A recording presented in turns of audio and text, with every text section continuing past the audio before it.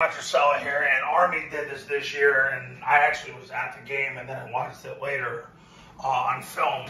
But it is something that you can do at the high school level because in high school football, you are still allowed to cut if you're on the line of scrimmage. So it makes it so that the center is the only player who can cut in high school football because your guards and tackles are so far off the ball, they need to be so they can give ground to get the angle that they need to cancel the gaps, especially on scoop blocks, veer releases, that sort of thing. So cutting the one technique on zone dive is something you certainly can do. The quarterback is going to snap the ball and then he's going to step, and this is the only time this is going to happen. He's going to step at a 45, so he's going to get some shoulder turn here, and he is going to get his backside shoulder through the play side knee of the one technique, and he is going to go to the ground. He's going to go to the ground, cutting off that player to prevent that player from scraping over the top. Or and or creating any penetration anyway. It's really to keep him on the backside of the play, but he's going to snap the ball. He's going to step at a 45. This is the only time I would ever tell you to step at a 45. But he's going to step at a 45. He's going to stand at a 45 degree track till he can get his shoulder through the knee of that player. Now, I'm not telling you to roll the knee for ethical reasons, of course.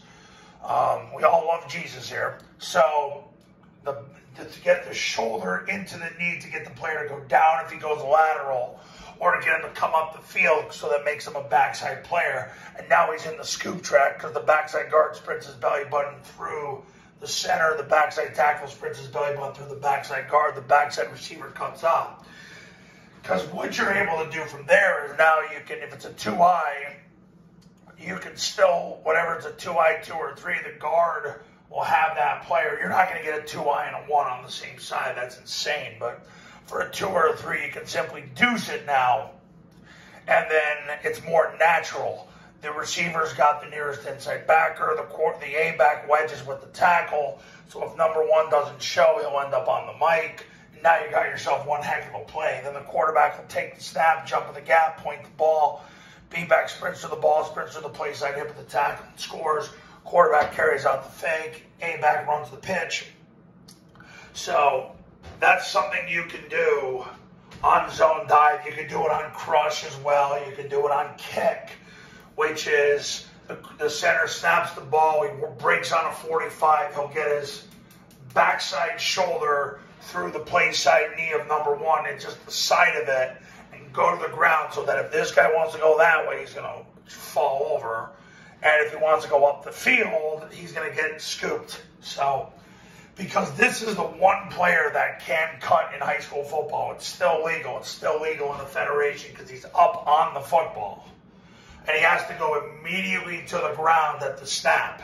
So if he goes immediately to the ground at the snap, you got yourself a chance there to basically handle the one technique by himself. So that's cutting the technique on zone dive. Uh, we could also label that with crush and kick as well, because they would apply as well in modern times. Coaches, you want to run Army, Navy, and Air Force's offense the right way the first time, give me a call. My number's on the thumbnail of this video, so is my website. The Triple Option Football Academy and Triple Option Football Academy camps will have you getting this offense ready to go for 2022 and the right way the first time. Talk soon.